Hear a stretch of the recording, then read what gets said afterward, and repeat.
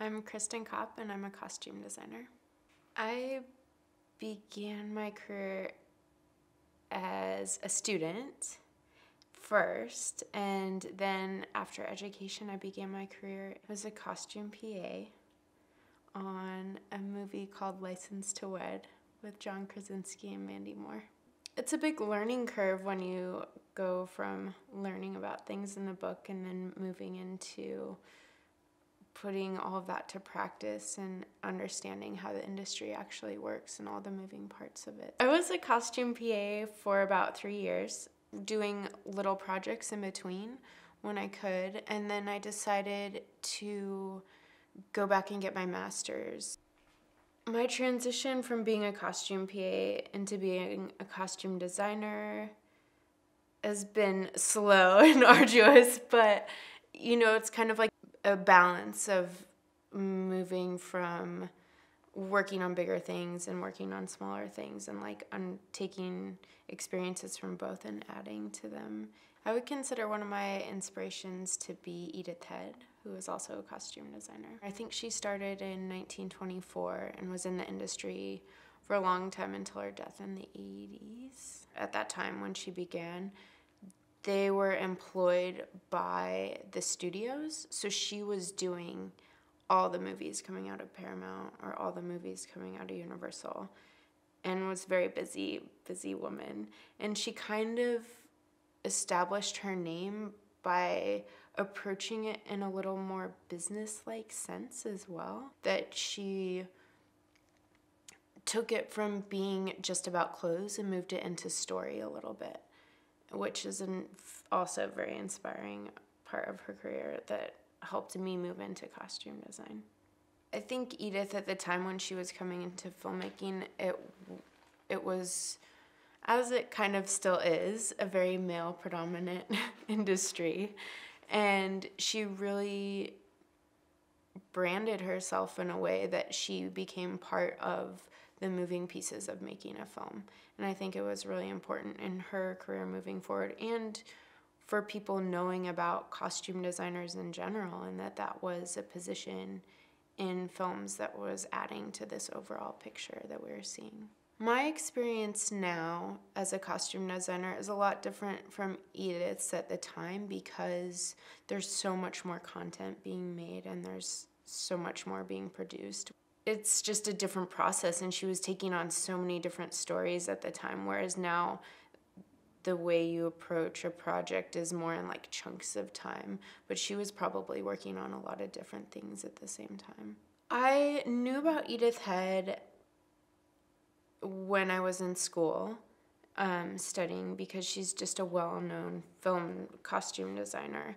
But then also, I found out about her as I started coming into the industry, and my first job as a costume PA was at Universal, and her.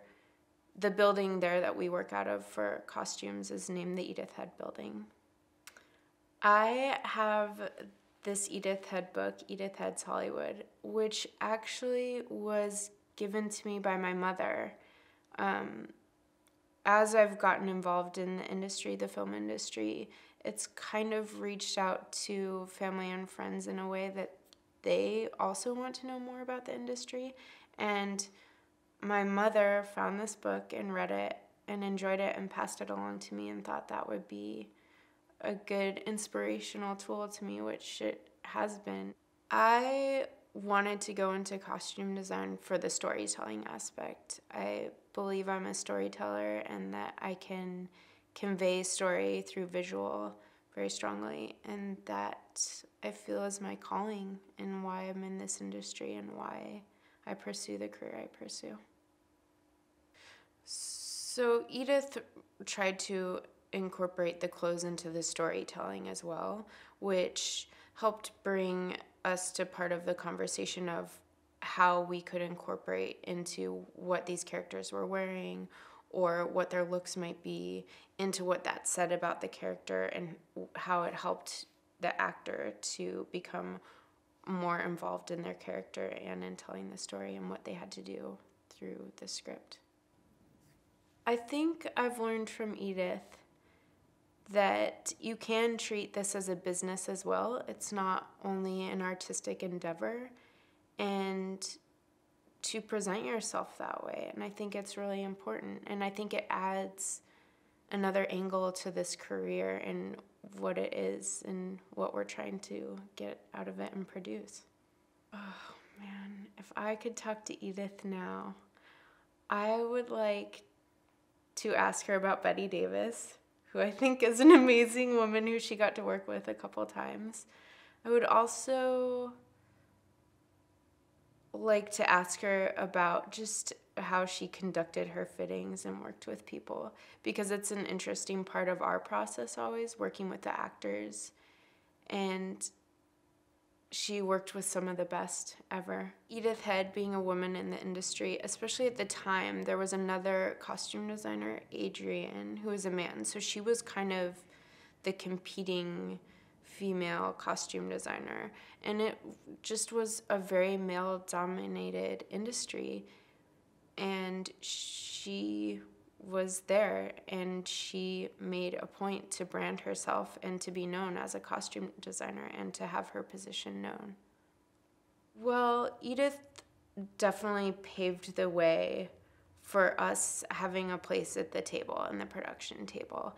And so I think it's been important uh, for costume designers in general, just being part of the conversation and moving the story forward. And she really helped to establish our position and our department within the overall scheme of making a movie.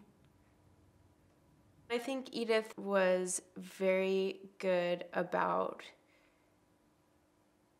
being very confident of her work and her decisions. And I think that really helped her move forward because a confidence is infectious. And I think she helped other people believe in what she was doing and what she had to say.